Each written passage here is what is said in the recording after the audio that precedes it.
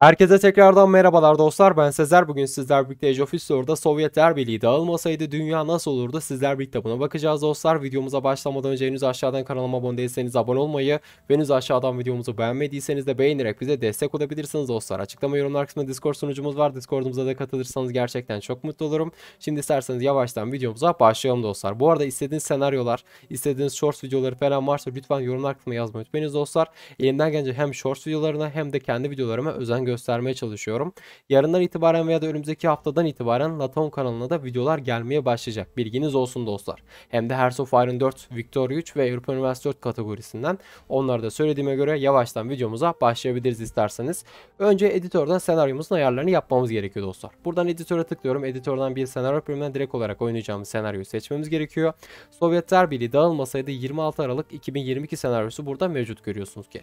Eğer oynamak istiyorsanız açıklama kısmına ekleyeceğim. Bulamazsanız da web sitemize gelip bulabilirsiniz dostlar. Hiç olmadı Discord'dan da bizden isteyebilirsiniz. Bilginiz olsun. Şimdi hocam öncelikle haritayı sizlere göstereyim şöyle ama bir şey anlatma, anlatmayacağım. Oyun içerisini anlatacağım arkadaşlar. Görüyorsunuz ki dünya zaten komünistliğe bürünmüş halde. Ee, sonraki yapıyorum ve buradaki her şey fullenmiş durumda görüyorsunuz ki dostlar. Ama şunu biraz daha arttırabiliriz. Nüfus artışı, ekonomi ve hastalıkların ölüm oranı da sıfır. Bir de ittifak falan varsa dağıtacağım bu ittifakları. Diplomasi yönetelim. Kuzey Atlantik Anlaşması Örgütü NATO. Kızıl İttifak. Arap Koalisyonu. Güzel ittifaklar varmış. Bu ittifakları kaldırmamak daha iyi bence. Ee, oyunlar. Yeni oyun. Şimdi bunu arkadaşlar ilk 5 dakikasını kendim oynamaya çalışacağım. Bakalım ittifaklar içerisinde oynanabiliyor mu oynanmıyor mu sizler birlikte bunu da göreceğiz. Ama eğer oynanmıyorsa timelapse haline getireceğim. Yani 6. dakikadan itibaren timelapse'de görebilirsiniz. Bilginiz olsun. E, zorluk efsanevi. Savaş sesi klasik oyun hızımız %100 iken hayat saldırganlık %50'ye kadar kısıyorum. Fransız Guyana'sını kaldırdıktan sonra görüyorsunuz ki 9 milyon 848 bin nüfusumuz varken 1 milyon 666 bin ekonomiyle direkt olarak oyunumuzu başlatıyorum dostlar. Şimdi öncelikle şunu söylemek istiyorum. Haritayı bir gizleyeceğim. Hatta gizlemeden önce sizlere şöyle haritayı anlatayım. Arkadaşlar Sovyetler Birliği yıkılmamış. Görüyorsunuz ki e, yıkılmadıktan için de buradaki birçok devleti papıt olarak salmış durumlar. Yani bunların hepsi vasal. Letonya, Estonya, aynı şekilde Litvanya, Ukrayna, Beyaz Rusya, Rusya, Kazakistan, Özbekistan, Kırgızistan gibi birçok devlet burada Kızıllığa bürünmüş. Azerbaycan, Ermenistan ve Gürcistan da dahil olmak üzere. E, ve buradaki birçok Balkan ülkesi de aynı şekilde komünist olmuş durumda. Bakın şu kızıl yıldızlardan anlayabilirsiniz zaten.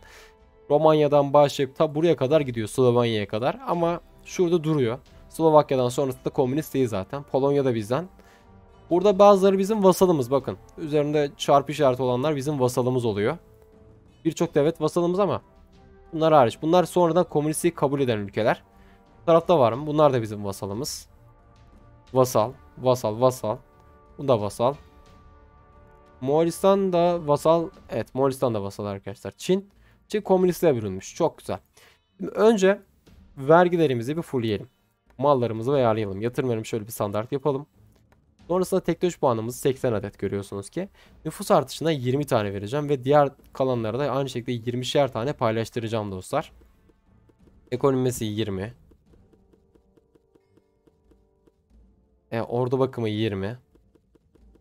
Sovyetler Birliği ordusuna çok fazlasıyla önem veriyordu dostlar. Geri kalan 20 teknoloji puanımı eşit bir şekilde paylaştırıyorum. Üretim geliri 5. Yönetim geliri 5. E, Araştırmaya da 5 verdikten sonra burayı kapatabiliriz. Şimdi biraz paramızı artıya çekelim. Lan ne oluyor? Nasıl abi? This is impossible. Bu adam bana nasıl savaş açabiliyor ya? E sen kaşındın abi. Tamam da sen bana niye savaş açıyorsun durduk yere? Ben sınırımdaki birkaç devleti çağırayım ya. Hak etti şu an bu.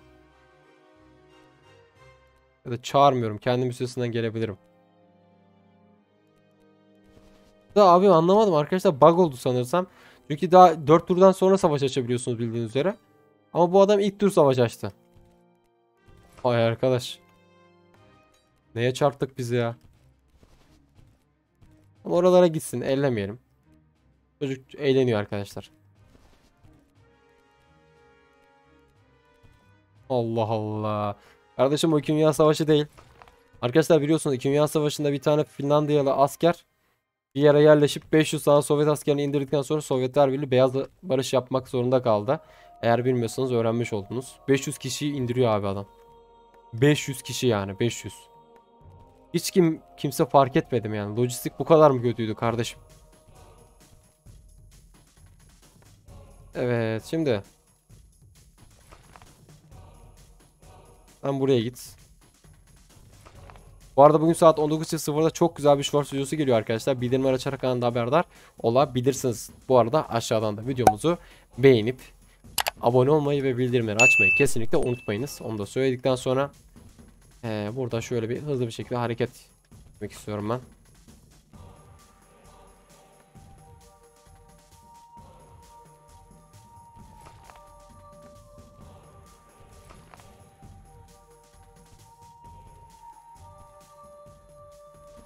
Tamam. Yani. Kardeşim geldiniz. Bak buraya da savaş açmış. Burada da garip.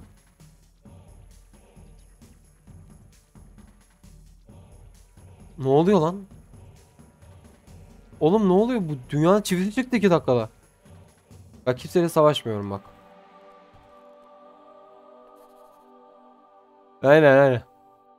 Aynen kardeşim aynen. Aras kargo şuna bak. Kimseyle savaşmıyorum dedikten sonra olur gibi. Liste bitmiyor bitmiyor. Yani devletlerinde de savaştayım. Yeni oyun yapsana bir.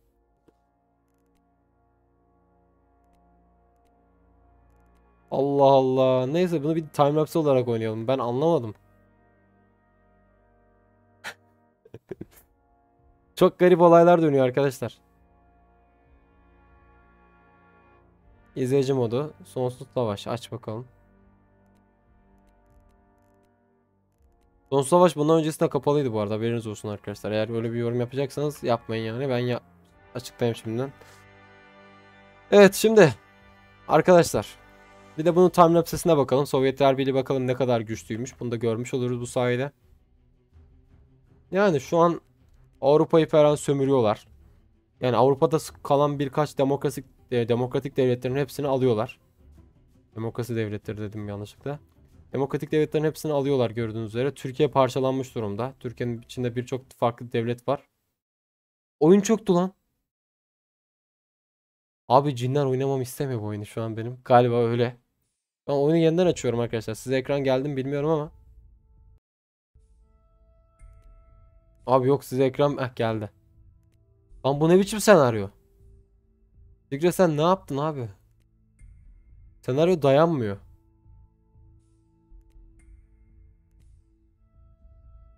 Allah Allah. Bir şeyleri fullememem mi gerekiyordu acaba? Senaryoya bir son bir kez daha bakacağım hocam. Çünkü senaryo şu an oynanacak halde değil. Gerçekten.